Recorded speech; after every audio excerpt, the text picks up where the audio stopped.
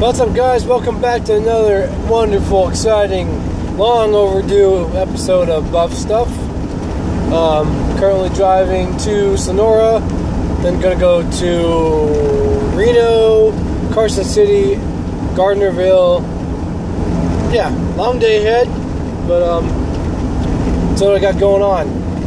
Uh, latest in news, uh, of course, last time I talked to you, I think it was about the ISIS fighters. And I still stand by what I, I, I stood by originally about the, the people who are getting overtaken by ISIS. Don't give up. Don't give up and stop fighting one thing, if you know you're going to die, or, or fear you're going to die because of your religion, and I, I know some of them are uh, Christian or whatever, if you're fighting for what you believe is right, don't give up when they come for you. That's what they like people to see. They put up, put these videos on camera and on the internet, and they're just shooting people like dogs, like pitiful little dogs. That's not what it should be like. You should be fighting until your last breath. I just, I just, it, it is just heartbreaking to see these people die without fighting. I mean, it's heartbreaking to see them die. General, don't get me wrong. But seriously, as Americans, we're told to stand our ground and fight for our freedom. That's what you guys out there are doing. So, I don't know how to be more passionate about it than I am. Wish I can go there and fight with you guys, but I can't. Um, but we're here.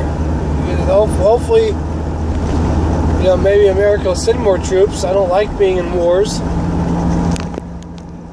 I don't like being in wars any more than anybody, but you know, when there's a group of people just slaughtering other groups in the name of Allah, it makes no sense, and it must be stopped. I think our president is uh, not on the right side. And he's like, I'm just going to do the minimum until I'm out of here. So, my two cents. But, anyways, I just wanted to come here, let you know what's going on, my thoughts on the current situation. Uh, like, oh, the beheading in Oklahoma was by a Muslim who I'm sure is connected with ISIS. It's not workplace violence, it's terrorism. And he should be hung quickly. But that's all I got today. Um, I may do a second episode today to air in a few days just to keep things fresh on here. Um, check out my Facebook, uh, Central Valley Track Drifters. Also, Anthony Richard Thomas. That's me. Um, but yeah, just hang in there, keep fighting, don't give up. And these people come to our land, game on. That's when I'll stand my ground when they come here. Because I can't go over there. But, anyways, this is Buff Stuff. I hope you have a great day. All you veterans, all you active duty, reservists, guards, guardsmen, have a great day. I salute you. Thank you for your service. Bye.